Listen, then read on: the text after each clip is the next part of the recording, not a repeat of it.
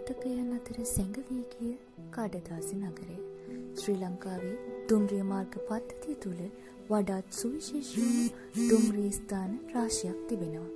එහෙත් මීට කලකට ඉහතදී සුවිශේෂී වුණු නමුත් වර්තමානයේ මතකයන් අතර පවා සැඟවී ගිය දුම්රිය ස්ථාන කිහිපයක්ම ලංකාව තුළ තිබෙනවා. එයින් වඩාත්ම සුවිශේෂී දුම්රිය නැවතුම්පලක් තමයි කඩදාසි නගරයේ දුම්රිය නැවතුම්පල. මෑත කාලේ මේ වඩාත් ප්‍රසිද්ධ දුම්රිය නැවතුම්පලක් නොවුනත් අදටත් මෙම දුම්රිය නැවතුම්පල දුම්රිය මගින් වෙනුවෙන් විවෘතව ඇති දුම්රිය නැවතුම්පලක් බවද සඳහන් කළ යුතු වෙනවා.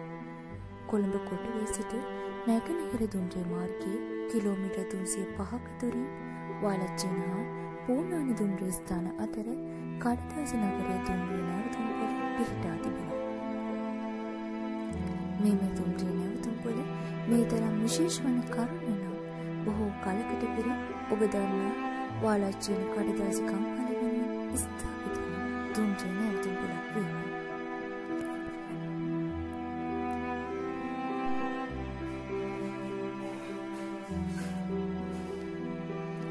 එකල මෙම තුන්ජී නැවතුම්පල යොදාගත් ප්‍රධානතම කාරණා කීපයක් තිබෙනවා.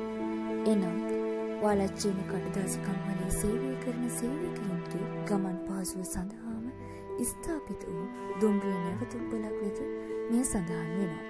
තවද වාලච්චීන කඩදාසිකම්හලට අවශ්‍ය අමද්‍රව්‍ය ප්‍රවාහනය සඳහාත් මෙම දුම්රිය නැවතුම්පොළ යොදාගත් බවට අතීත දත්ත වාර්තා සාක්ෂි දරනවා. තවද මෙම දුම්රිය ස්ථානය අසලින් දුම්රිය මන්සන්දයක් ලෙසට දිස්වන දුම්රිය මාර්ගයක් වාලච්චේන කඩදාසිකම් හලවෙත බෙදී යන අයුරු දක්නට තිබෙනවා. මෙම දුම්රිය මාර්ගය එකල වාලච්චේන කඩදාසිකම් හලවෙත දුම්රිය අමුද්‍රව්‍ය ප්‍රවාහනයට යොදාගත් දුම්රිය මාර්ගය වෙනවා. වර්තමානයේ මෙම දුම්රිය මාර්ගය භාවිතයට නොගන්නා අතර වල්වැදී නටපුන් වී ඇති අයුරු දක්නට තිබෙනවා. එකල පැරැන්නන් පවසන අන්දමට මඩකලපේ සිට කඩදාසි නගරය දක්වා දුම්රියක් ධාවනය වූ බව සඳහන් වෙනවා. එම දුම්රිය වාලච්චේනක සිට කඩදාසි නගරයේ දුම්රිය නැවතුම්පොළ දක්වා පසුපසට ධාවනය කර වූ බව සඳහන් වෙනවා.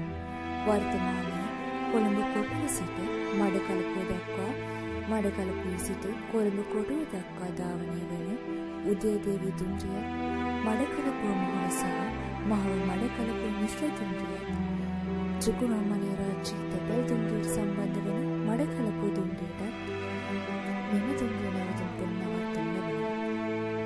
මෙම දුම්රිය නැවතුම්පොළට